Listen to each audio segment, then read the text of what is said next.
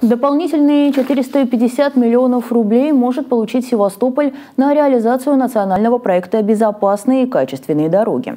Департамент транспорта и развития дорожно-транспортной инфраструктуры городского правительства подал заявку на получение финансирования из федерального бюджета. Изначально на ремонт более полусотни улиц в рамках реализации нацпроекта был предусмотрен 1 миллиард 400 миллионов рублей. 1,4 предусмотрены, плюс мы 400 дополнительно Да, совершенно верно. Это против миллиард шестьдесят два в прошлом году.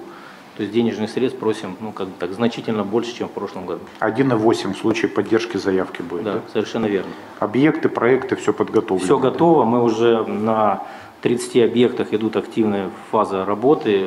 Кроме того, на заседании правительства Севастополя 24 марта утвердили перераспределение средств в Департаменте транспорта и развития дорожно-транспортной инфраструктуры. Так, на ремонт дорог э, направили почти 143 миллиона рублей. На оплату работ, которые выполнили в прошлом году, около 34 миллионов. На обновление подземного пешеходного перехода возле остановки «Памятник матросу Кошки» выделили 10 миллионов 700 тысяч рублей. Сдать в эксплуатацию объект обещают к майским праздникам. Более 6 миллионов направили на прохождение глав госэкспертизы по ремонту улицы Капитанской. Также предусмотрели дополнительные средства в размере 40 миллионов рублей на реконструкцию транспортной развязки на пересечении улиц Руднева, Вакулюнчука и Меньшикова.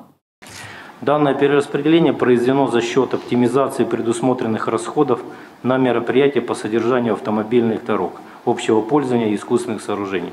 А именно были предусмотрены денежные средства на замену барьерного ограждения по Ялтинской трассе.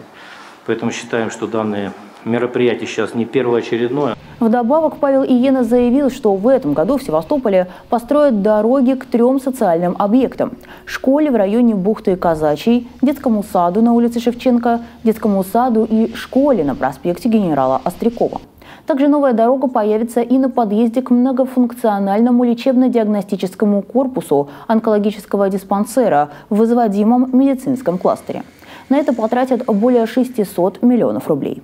По словам чиновника, проекты строительства объектов уже готовы и прошли экспертизу.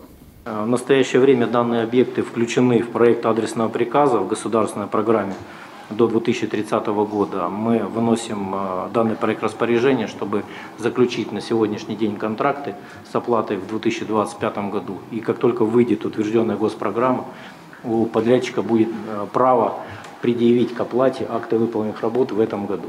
Соответственно, ставится задача в этом году все эти объекты реализовать.